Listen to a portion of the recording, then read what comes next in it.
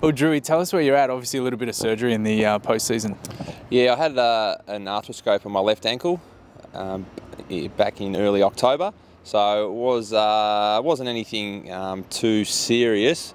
Uh, obviously, I played the year out. I only had to uh, have the assistance of a little injection on one occasion, so I was pretty good really. But it was just something that was going to deteriorate, um, and it was just a wear and tear kind of injury. So the surgeon just shaved some some junk, um, took a bit of junk out of uh, out of my ankle, and um, it's just a long, long turnaround. That's why I'm, you know, here we are about nine weeks later, and I'm still not running that much. You just got to be careful with it.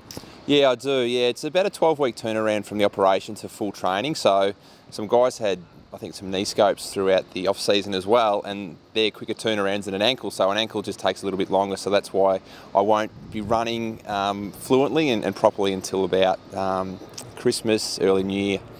Okay. Um, in terms of training now, where you're at? Um, so I can do. I'm running two, sometimes three days a week. Um, I'm probably only covering about three kilometres tops at the moment. Just doing a bit of stride work.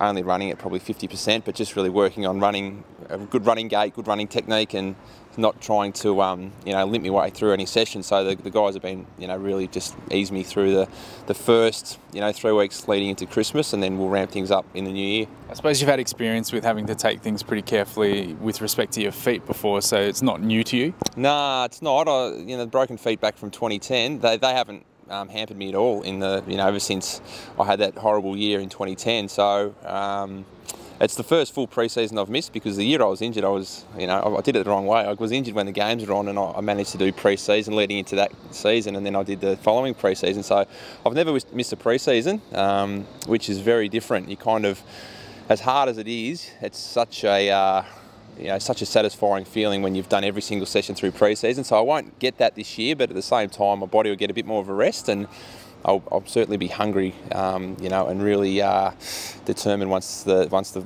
the footy, you know, the games begin anyway. Mate, what's it been like having Jarrad Waite down at the club? Obviously, our forward stocks are, are pretty um, sort of full at the moment. Yeah, it's great. Competition for spots is what we want. Uh, that creates a really good environment, and hopefully it results in some some wins and some success this year. So Jarrad's been really good. I haven't been able to train with him yet, which is a, a bit of a downer. Um, obviously we want to create a fair bit of synergy between us um, as soon as we can, uh, so that won't be able to happen probably till the end of January. But I've just been watching a bit of the stuff the boys have been doing, and he looks really comfortable. He's a smooth mover.